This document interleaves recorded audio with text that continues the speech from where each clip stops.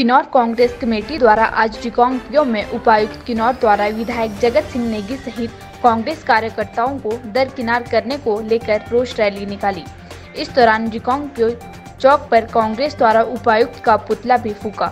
हालाँकि इस दौरान लापरवाही के चलते एक मोटरसाइकिल व पुलिस ट्रैफ़िक स्टेशन भी आग की चपेट में आने से बाल बाल बचा।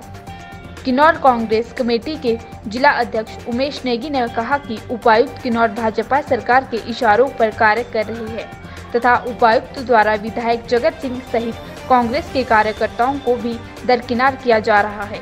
उन्होंने कहा कि उपायुक्त द्वारा विधायक जगत सिंह नेगी और कांग्रेस समर्थितों को भी बजट देने में भी आनाकानी करते हैं, जबकि भाजपा समर्थितों को बजट देकर कांग्रेस के साथ भेदभाव कर रही है।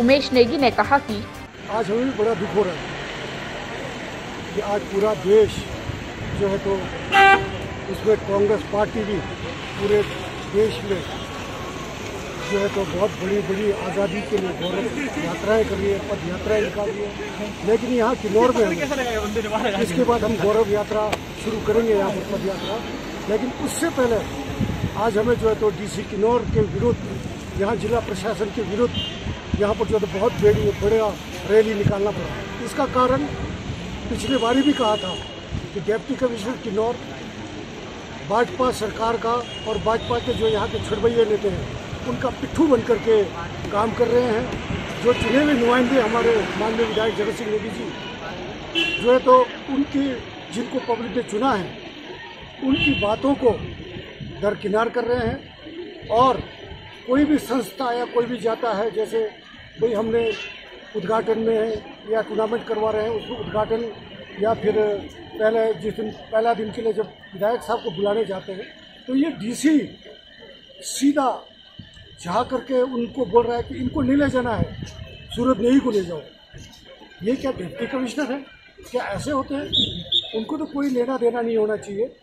और बजट में भी उसी तरह का वो कर रहे हैं, जिनको सूरत नेगी बोलते हैं, जिसमें महिला मंडल को, जिसमें संस्था को, वो तुरंत दे देते हैं और माननीय विधायक बोलते हैं या हमारे कांग्रेस पार्टी के लोग बोलते हैं तो वहाँ ये एक रुपया भी नहीं है। उनका यही सबसे पहले प्रश्न होता है कि सरकार के आदमी को बुलाओ छुटभैयों को बुलाओ। इसके, उसमें हमारा ये रोष नहीं था। और आने वाले टाइम में डीसी साहब का ऐसा रवैया रहा तो उनके काले झंडों से भी स्वागत करेंगे और बहुत बड़ा रैली दोबारा से हम लोग पंद्रह दिन के अंदर दोबारा करेंगे। और इसके बाद हम लोग गौरव यात्रा शुरू करेंगे।